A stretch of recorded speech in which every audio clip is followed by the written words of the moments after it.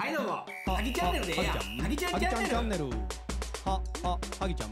いやなんかなんか久しぶりの僕の全然全然ガチのはぎちゃんチャンネル。ご報告はははぎちゃん。はぎちゃんチャこれはね僕ンネル始まるよ。初めてなんですよ。そうなんこれほんまハリちゃんのチャンネルだから言いますけど。俺ガチでこれやったらもうよろしくねはぎチャンネルでええやんはぎちゃんチャンネルはいどうもハギチャンネルでええやんハギちゃんチャンネルやってくれはんのかお疲れい様ですいやラウさんなんかちょっと久しぶりの僕のい動画でやいや全然全然そんないつもおるんですから撮ったらいいじゃないですかなんぼでも。いやでもやっぱりなんか、はい。毎回ラマさんのやつ出てて毎回撮んのも、はい。はなんかラマさんの動画出てんのにあれかなっていうのもあって。ハリちゃん結構遠慮しますよねそういうところ。まあなんかやっぱそこって大人のなんか配慮というか。あんなドッキリしといてかいなんすか今日は。あちょっとほんまにこれガチのやつなんですけど、はい。ガチのあのご報告なんですよはいあなんですかほんまのやつですか？まあ一応動画回してるんですけど、ほんまこれガチのやつで、はいはいはい。ちょっと。ほうほうええ？社長になろうかな？ね 何それ？何それ？何やそれ？結婚から思った。ちょっとその雰囲気出したい彼女もらうのに結婚するから。相手おらんで助けて。いや会社を作ろうって思って。あいやこういうコロナの時期で正直僕も今ラファさんのところとかやりつつ YouTube 自分のやつやってるんですけど、はいはい。で今僕スパチャが生配信ーいやそうです急事態宣言のやつとかであるんですけど、はい。それなくなったら大丈夫かなっていう収入のやつもあるんで。まあそうかそうか。一人暮らしも初めて。で猫ちゃん保護猫ちゃんの小肌も来たし。盗んだ猫ですよね。盗んだ。猫 どうやって盗む盗んだ。言ってたやんか盗むわけない。盗み方知らんわ猫のいやなんかだからこういうコロナのもあるから先行きバイトとかしててもお店が潰れるとかも。絶対やった方がいいっすもんね。あマジっすか？絶対やった方がいいっすもんねハギちゃんって。え向いてます？なんかだってあの視聴者さんハギちゃんのファンやから皆さんご存知の通りで、はいはい。説明するまでもないですけど、はい。ハギちゃんってなんであんなのもので売れへんのやろとか売れへんイコールまあお金ないっていうことでつながるかもしれないですけど、まあワンチャンそれでもめっちゃ金持っててもおかしくないじゃないですか他の会社で、そうで僕みたいにすね。はい確かに確かに。でそういうのないからなんでやるなってなったからやっぱ一歩踏み出した方がいいですよね。だからちょっとこのタイミングでや絶対やった方がいいですね。マジっすか？成功するためには僕の持論っすよ、はい。真似してほしくないですけどリスク取るしかないんでリスクを取るってどういうこと？成功したいんだったらリスク取る。投資するとか。あああえてじゃあ借金していろんなことをするととかか時間もただじゃないんで、はいはいはいはい。ただ無駄になっちゃうじゃないですか。失敗したら。そうです。よでも最近ほんまに暇やなと思って。ラマさんの YouTube もまあ昔みたいに毎回ね、はい言われて出るとかでもなくなって週何回とかじゃないですか。なるほど。で自分のあのー YouTube とか撮ったりとか。なるほどな。あのー、僕だからもっと自衛隊じゃないですか、はいはい昔あのベトナムの時でも、はい。あの犬使ってよかったのが、その動物をスパイにするっていう もうほんままともなこと言われへん。だから猫スパイとかに。ロシアはあの白イルカがスパイでしたからね。え？ガチガチガチ。ガチっすか？ガチっす。え僕自分の保護猫すっかり育てます えその方が時間かかりそうですか？今から。そうかそうかそうか。それでも社長ビジネスじゃないですね。そうなんです。でもねこれちょっと一個というか大きい問題があって。はい。あの全く何も決めてなくて、ええ？はい、とりあえず会社やってみよう。何やったらいいですかって話ですか？とか何が向いてると思います？やっぱり僕とかハギちゃんってこの SNS で影響力あるんで、はい自身を使うっていういわゆるチートセコ技というか、はいはい。得技がボーナスステージが使えるわけなんで、はいはい。ハギちゃんを使わないと意味ないじゃないですか。ラファエルを使わない。ハギちゃんを使わない。ああなるほどなるほど。ってなるとハギちゃんって強み何面白い面白いでオフラインで会えるとかって言ったら、はいはいはいはいめっちゃベタですけど一番稼げるんは、うんバーになるんじゃない？それめっちゃ言われるんですよ。抜き物のバーね。シャンパンとか。そうそうそう。わけわからんウイスキーとかじゃなくて。わけわからんウイスキーでなあの保管できちゃうんで。ああなるほど。だから儲からないんですよ。そっかそっか。ずっとボトルキープのやつを飲んだりとか、だから儲からないんですよ。抜き物は保管できないんで。確かに。出したらもうそのままそうあと一揆っていう習慣があるでしょ。あーまあね。祝い事のとかはい。何なんですかね、あの文化。確かに確かにもうあいつらいつか全員殺しますけどね。やめとけよ。プライベートなんかあったんか。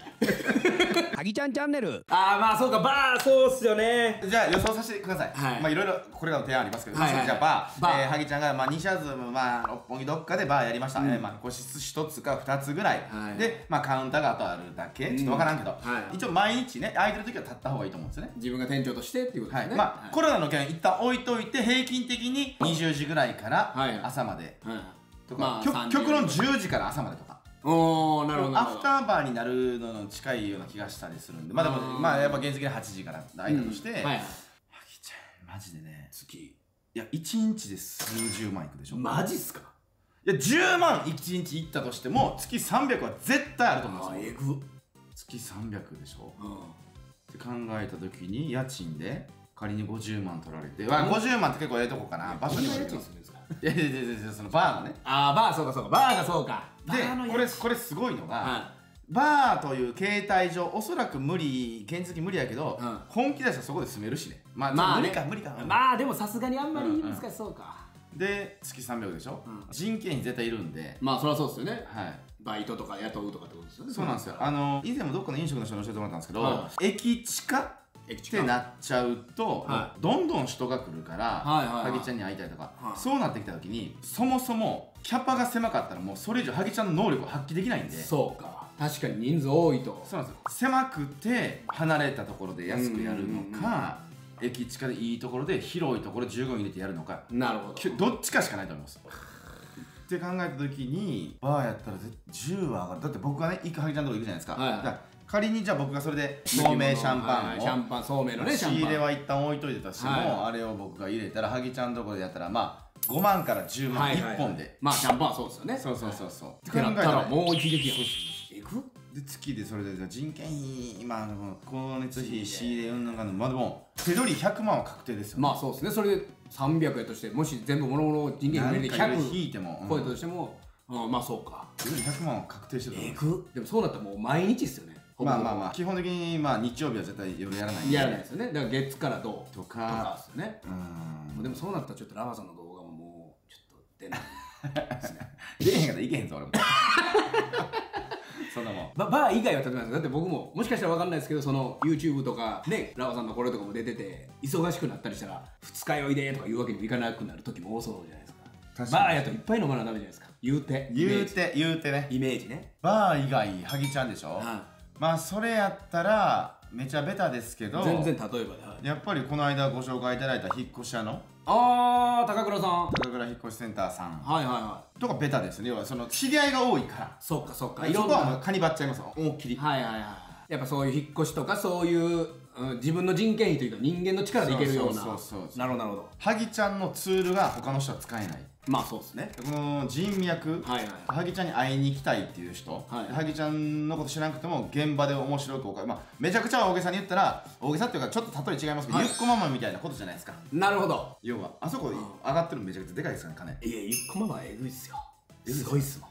多分ちょうど桁が一つ違います。くーすげえ。月で。えっていうことなんですよ。ぐなるほどなるほどなるほどなるほど。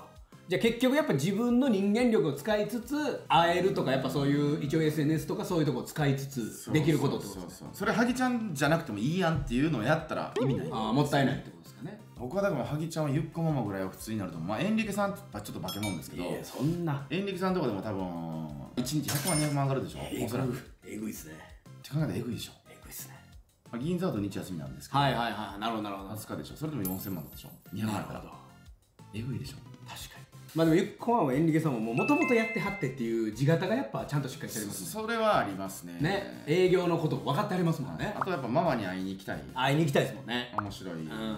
そこがねどハギちゃんがいざそこの長として立った時の確かに見え方がどう面白くなるのか。確かに。ただどっちにやっぱフォローするメンバーが2人ぐらいは必う要だしん。バイトの子2人ぐらい雇うことになるんかな、うん。3人体制でやるんかな。洗い物するやつ、はい。なんかやるやつずっと喋ってるハギちゃん。はいはいはいはい。なんか1日3人で回すんかな？うん。ママの店やったら4人5人おるけど。なるほど。まあじゃあバーとか引っ越しとかそういう自分で動いて。人脈系ですよ人脈ね系。え実際このコロナのこういうのでどういう仕事が儲かると思いますか、まあ、コロナ終わってからも続けなきゃいけないんですけどなんか動画とかでたまに聞かれたりするんですよ、生配信で。多いのはやっぱりあれですよね。例えばですけど、出張系なんでウーバーとかベタまあもですよそうか。はいはいはいはいはいはい。ベタはそうですバーとかそういう配送というかめっちゃ極論ですけどこれほんまハギちゃんのチャンネルやから言いますけどおいマジですかマジですか。俺ガチでこれやったら儲けるなって自信ある商売ありますえなんですか？ウーバーそのままやるんですよ。手数料低くして。あいつらはあ。あいつら35%持ってくるでしょ。なるほど。あれいやうち20%でやりますよって言って切り替えへん会社絶対ないんで。うん。で僕のその人海戦術って僕がつぶやいたらバイトでもバーって一緒に雇えるんで、うんうん。全然いけるっすよ。確かに飲食店側も言うてみたら得になりますもんね、流行る方が。まあもうやるんですけどそれウーバー潰したのかなって。お前やめやそんなん言うの、ウーバーが1か月以内に俺に案件をやるんです。ラオさんそれ自分のチャンネルで言うて。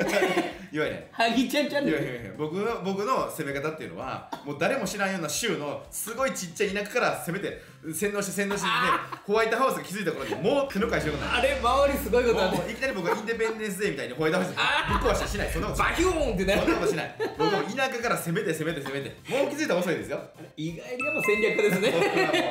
そういうのうまいんですイメージだとホワイトハウスいきなり来てたのに。いやいやいやいやいやなるほどそうか勉強なんだいやだから極端な話だってそうじゃん。飲食店に35万持ってから結構でかいでしょ、はいでも僕らってそれでもええから頼むって言ってるんですけどあれね港区内で、うん。まあ実際ウーバーもこの都心部の一部のとこだけですけど、は金持ってる人間が使ってるからやけど、んあれサラリーマンで1回頼んで2000円3000円。いいやいや。いやいや無理無理無理無理。それやったら自分で外行ってそうでしょ？テイクアウトにしようかな。そう。あれはだから手数料も乗ってるからなんですよ。まあそりゃそうですよね。どこを選ぶかってことですよね。35が乗ってるんですよ。ちょっとラオさんからこんなええ話聞けると思ってんかったないやほんま猫売れとかそんな言われるやろなとでだから2番煎じは全然いけるんですよ。まあそうですね。需要があるわけですもん僕のジュエリーもそうですよ。2番煎じですデザインなんかどこにでもあるやっぱりはいはいはいはいでも全くどことも同じダイヤグラムで、そこよりも何万も安くしてるという。まあ宣伝力はないんでねそのジュエリーっていう意味では,、切り替えない理由がないんで、うんうんうんだって絶対そっちの方が得やんっていう、はい。利益とかいうかそうなんですよ。理想で考えると。なんか市場でこの考えた時に、うん。配達する市場、はいはい。わかんないですけど僕は出前館とウーバーしかないと思ってます。はいはい。今のところ。2番煎じやりました。今更遅いねんけど、うん。まあ、これ100%と考えてこれ丸がね。はいはい。仮にウーバーの100%の売り上げが、はえー、1ヶ月100億円あったとするじゃないですか、例えばはい。でハギちゃんがそこに潜入して全然売れるわけないやん。もちろんそれそうなんですよ。まあ知名度もないし。全然無理やねん。うん。もし仮に1%しか取られへんかったとする。1%って考えたらそんな仕事やるかってなんですよ100億の1%っていくら？って億や。ってなんですよそういうことなんですよ仕事って。そういうことか。だから結構いろんな市場でもあそれ面白い。その考え方なかったですね。何パー取るかって考えるんですよ。はいこれはね僕動画で言うの初めてなんですけどあそうなんですか。僕でも裏でやってる仕事とかも何パー取ったらどうかって考えたらそうなりますそっかそっか。別に、まあ、大手さんとかいろんなところおったりとかしたらそっち行くけどそうそう。あとじゃあそもそも何人が。そうそう。そもそもの市場がどんだけなのっていう。うわあすげえ勉強になるそうですよ。だからめちゃくちゃでかい市場に「いやウーバーハギちゃんやるの 売れるわけないやん」うん。そうなんですけど一発取ったらいいんですって言ったらもうえぐいよ。あそれほんまあほんまそうです目から鱗やなそれ。もう金くださいよマジで。おい聞いてるお前らのやつ これどうします？僕のこの動画の後ウーバーみたいなやつ死ぬほどできない。いやだからこれは僕らの影響力なんで無理な。んでまあそうか。いきなりやるってなってもじゃあその人員どんだけ確保すんねんとかそういうとこも。人海戦術でね全部営業すんのかいそんなもん無理です。無理ですラファエルですってきたらそれ一発取れるんで営業確かに。一発ですよ僕すいませんラファエル。であえ？中の人？あそうなんですすいません。ここここえ全然で20%やるでもう僕100 100%入れますそれ。ラーさん仮面の人じゃなくて中の人って言われてるんですよ。もはや着ぐるみとか。あ、仮面の人です ああでもすごいな。ほんまそういうことやな。僕とハギちゃんにそれはできる。そっかそっか。うわーすげえほんま勉強になりました。いやいやいやいやそういうことです。あ一個でも言わせてくださ何？いいや資本金もなんもないです。ああ死ねや もうええて。それでは聞いてください。100年越しの I love you ん？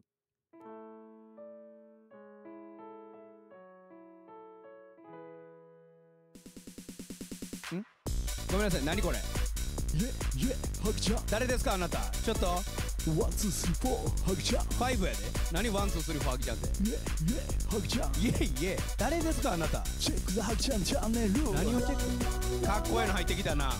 何これ？ハギちゃん言うな。イェイハギちゃんイエイハギちゃん。ちょファンファンファンかっこええねん。んどこ行ったらええねん come on ハギちゃんって。 Let's dance ハギちゃんなんで踊らなあかんねん。イェイイェイハギちゃんそれやめろ。イエイイエイ言うの。 One two three four ハギちゃんイ five や言うてんねん。それやめろ one two three four。ェイイェイハギちゃん何やねんこれ。おい。 Check the ハギちゃんチャンネルかっこええねんこれ。ハギちゃんちゃうちゃうねん。ちゃうねん。ハギちゃんラブソング歌いたいな。何よハギちゃんこいったよもう。踊ったらええかもいや終わったやないかこれ。もうええて。